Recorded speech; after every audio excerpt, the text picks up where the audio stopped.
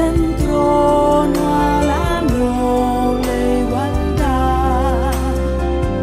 Ya su trono dignísimo las provincias unidas del sur y los libres del mundo responden.